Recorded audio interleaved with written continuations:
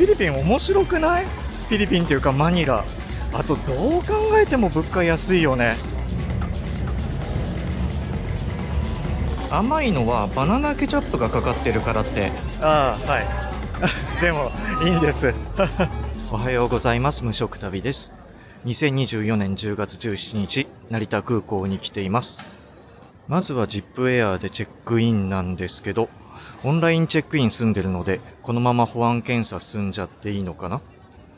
ちょっと混んでるなぁと思ったんですけど保安検査10分ぐらいで通過しました。出国手続きは待ち時間ゼロでした。現在の時刻は8時5分でございます。今日は始発列車に乗ってきたんですけど早起きというか昨晩あんまりよく寝られなくていやほとんど寝られなくてやっぱり旅の前日はワクワクするもんだなって改めて思ったりしました。いつの間にか一風堂があります。お値段ちょっと高め。でここら辺も来るたびに素敵になっていく感じがします。とっても居心地よさそう。すげえな空港。自動のなんて言ったらいいんだろう。車椅子カート？そういうのが走っています。8時31分飛行機乗ります。ジップエア久々に乗るんですけどやっぱり広いですよね。とっても快適だし Wi-Fi も使えるしで大好きです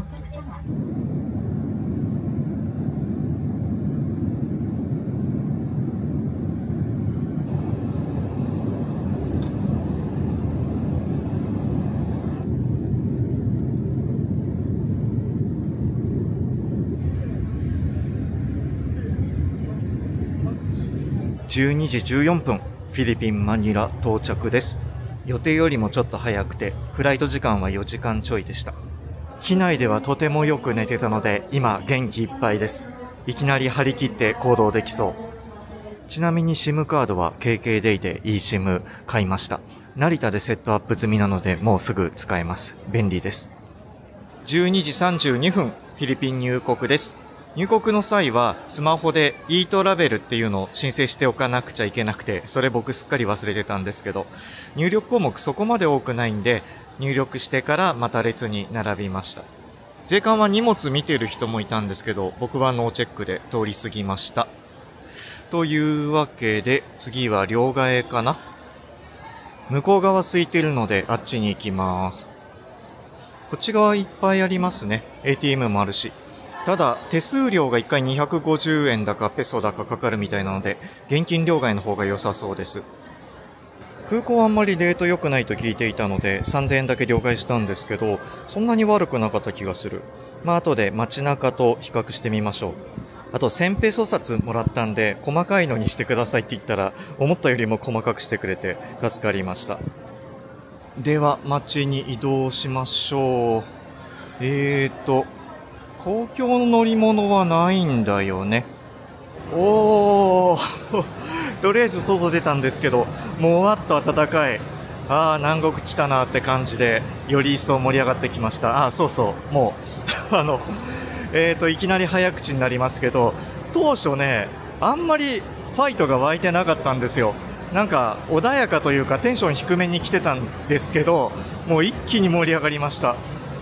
一応僕フィリピン来たことあるんですけど15年ぶりぐらいなんですよね。だからほとんど覚えてないし初見に近いのでなんかいろんなことが新鮮に感じて面白い、うん、慣れたところ行くのももちろん楽しいんだけどこうやって好奇心をかきたててくれる旅先やっぱりいいなと思いました。おそらくこれはターミナルをつなぐシャトルバスですね。ただこの空港結構大きかったりいろいろ道路が入り組んでたりするのでターミナル間の移動下手すると1時間近くかかることもあるみたいなので要注意でございます。わあ何やってんだろうって感じなんですけど空港から街中へはタクシーとかあとグラブで配車するのが普通なんですけど気分が高揚してるせいで歩いて出てきちゃいました。まあ最悪徒歩でもいいよね今日のマニラの気温結構高いですね。湿度もあるし日本の夏っていう感じです。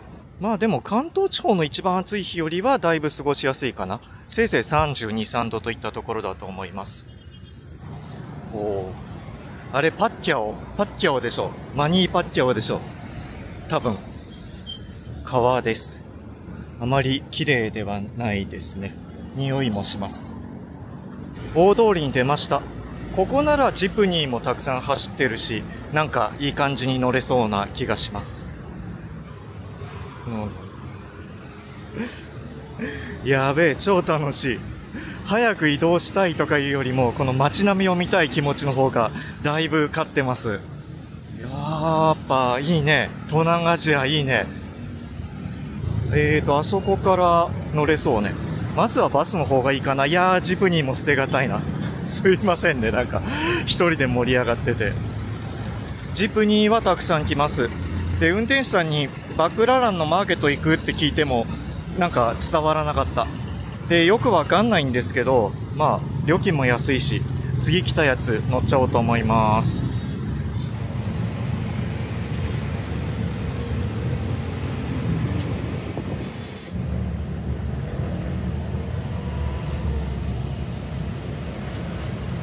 降り方わからないなどうしようかなと思ってたけどちょうど降りる人がいてよかった。えー、というわけで13時23分多分バクラランマーケット到着です。到着してるか。地図的にはそこら辺なんですけど。マーケット的なものの入り口はまだ見つからず。でもいろいろ露店が出てて店員さんがギター弾いてたりとかいろいろ光景が面白いですね。と思ったら建物の中が結構ガチめの市場です。魚とか見えました。わかなりガチだ。建物には入らないで通り過ぎたんですけどあこれですこれです。こういうところ来たかったから。うんここ曲がります。えーと。ちょっと交通量多いから油断はできませんね。車がたくさん止まってますけど。合間合間で寝てる人もいたりしますね。僕はいきなりこういうところ来てめちゃめちゃ楽しんでるんですけど一般的な旅行ではまず来るべき場所とは違うかなという気もします。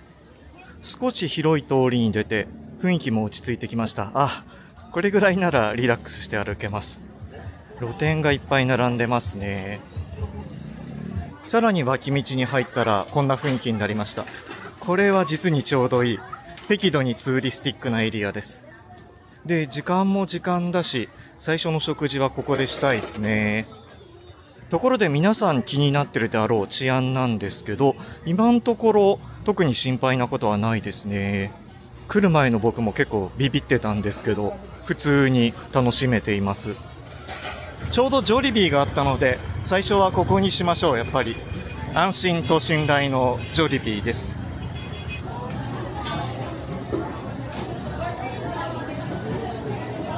オーダーできました。このブルブルブルってやつもらってできたらそこで受け取るようですね。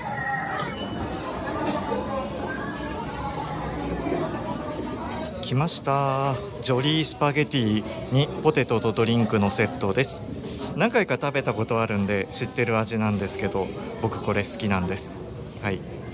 さっきのこういった街並みを見ながらの食事なかなかおつなものでございます。いただきます。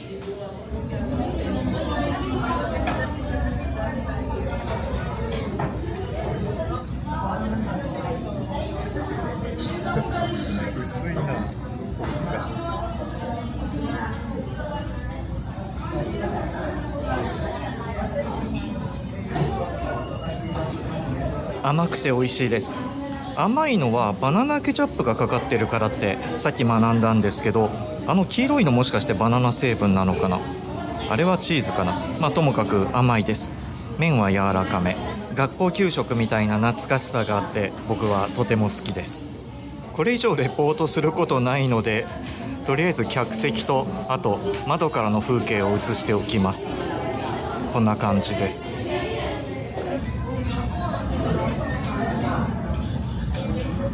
ポテトはすごく普通に美味しいです。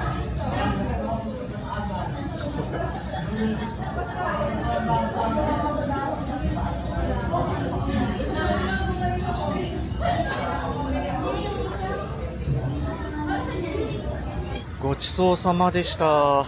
軽く休憩もして14時17分散策再開です。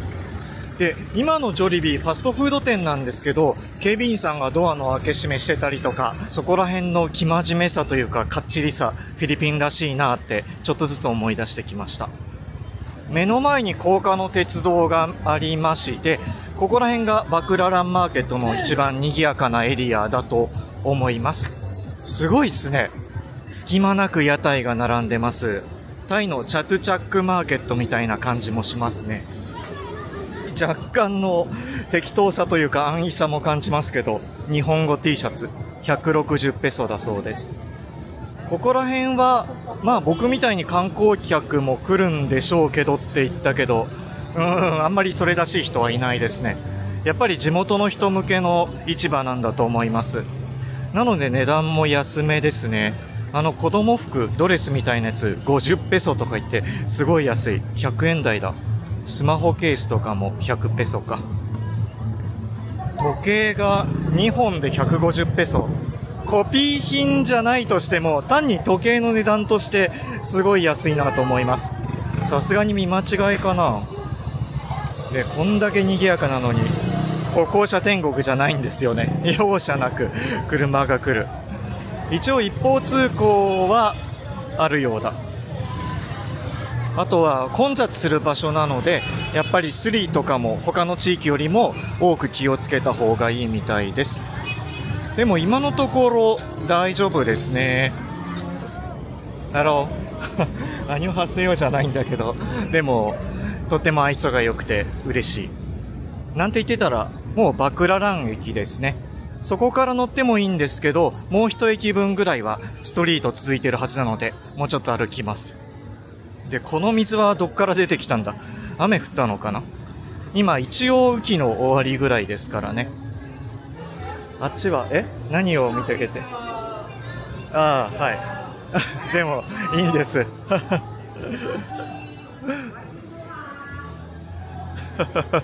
何だったんだろう？ポリスが交通整備をしてます。どうも。こんにちは。ハロー元の通りに戻ってきました。ここは高架の下になってますね。でね皆さんに一言言いたいっていうか1週間前の僕に一言言いたい感じなんですけどフィリピン面白くない？フィリピンっていうかマニラ。とってもエネルギッシュで。それで興味深いものがたくさんあってあバナナも美味しそうだ。ね治安とかあと楽しいスポットとかそういうのに不安があってそれでしばらく来てなかったっていうかマニラに来ようと思ってなかったんですけどなんでだよっていうぐらい面白いです。これもっと早く来ればよかったな。無色旅のチャンネルのテイストとも結構親和性高いんじゃないでしょうかこういう雰囲気は。あとどう考えても物価安いよね。スニーカーまあ本当にナイキかどうかコンバースかどうかっていうのはともかく180ペソっていうのは安いよね。パッと見新品ですし。でこんなに混んでて車通りもあるのにバドミントンしてていやそれはお母さん怒るよ。やめなさいって言うよ。こっちの子やめてないけど。あお母さんじゃなくてお姉さんだった。しかもやめなさいじゃなくて私が遊ぶから引っ込んでなさい的な話だったのかな。さっきも言いましたけど本当にマニラ面白い。まだ街歩き始めて1時間ぐらいなもんですかね。でほんの一部分を見ただけに過ぎないんですけどもう早くも来てよかったって気持ちが溢れ出ております。ここにもジョリビーありますね。さっき寄ったお店です。フィリピンの国民的大人気なファストフードチェーンです。他の国にも結構進出してますね。日本上陸も検討しているとのことです。そろそろ駅だと思います。この辺りもっと丁寧に見て回りたい気持ちもあるんですけど行きたいところはまだまだいっぱいあるので次の場所を移動します。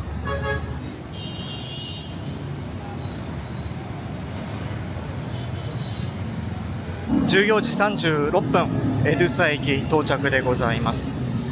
反対側来ました。セキュリティチェックありますね。交通カードもあるようなんですけど今回はその都度切符買いましょう。上の表に行き先と金額書いてあるんであれで自分の行きたいところまでの切符買えばいいわけです。無事に買えました。てかあっちに窓口もあったんですね。では改札。よいしょ。係員さんが GO とか札を持って誘導してるのが面白い。あ涼しい。こんな感じです。飲食は禁止の模様。